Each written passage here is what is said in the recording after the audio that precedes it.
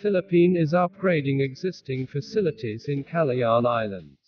Manila, the Philippines is now upgrading existing facilities in the nine islands that comprise the municipality of Kalayaan, with the bulk of improvements centered on Pag-asa Island.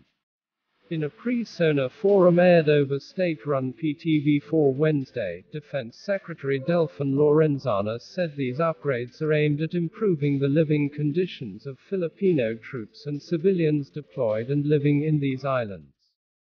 For the first time since the 1970s, Pag-asa Island has received major infrastructure upgrades, namely, a ship beaching ramp, and a sheltered port for our fishermen, said Lorenzana, chair of the Security, Justice, and Peace Cluster. With the completion of these facilities, Lorenzana said it is now much easier to proceed with other projects such as the concreting of the runway, the Rancudo airfield, and its apron and construction of other structures for the residents and troops stationed there. Out of the seven islands and two reefs being controlled by the Philippines in the Spratlys, Pag-asa is the largest measuring 37.2 hectares. Other Philippine possessions in the area include Likas Island which measures 18.6 hectares, Parola Island, 12.7 hectares, Lawak Island, 7.93 hectares, Kota Island, 6.45 hectares, Patag Island, 0.57, Panata Island, 0.44, Rizal and Ayungin Reefs.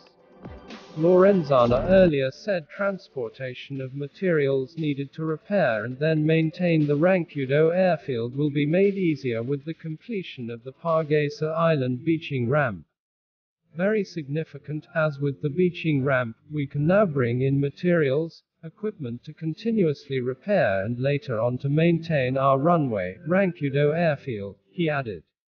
Prior to the completion of the beaching ramp last June, equipment and supplies could only be brought in by ship who have to anchor 500 meters away from the shore and transfer it to a smaller boat so that it can be carried to the island. So it's very tedious practice, and very expensive and we can only do that during calm weather, Lorenzana said. During the Habagat or southwest monsoon season, even fishermen are very wary to go in the area due to rough weather and large waves. With a budget of 267.18 million Philippine pesos, the construction of the beaching ramp on Pag-asa Island is one of several projects aimed at improving the living conditions of the people there. A total of 1.3 billion Philippine pesos worth of projects are also in the pipeline, including the repair and concreting of the runway that has been damaged by erosion. PNA. Upgrading facilities. Defense Secretary Delfin Lorenzana, Center, and several military officials lead the inauguration of the beaching ramp at the Pag-asa Island on June 9, 2020. In a pre-SONA forum on Wednesday, July 22, 2020, Lorenzana said these upgrades of facilities in the Kalayaan group of islands are aimed at improving the living conditions of Filipino troops and civilians deployed and living in these islands. See you in the next video. Don't forget to like and subscribe to my channel, thank you.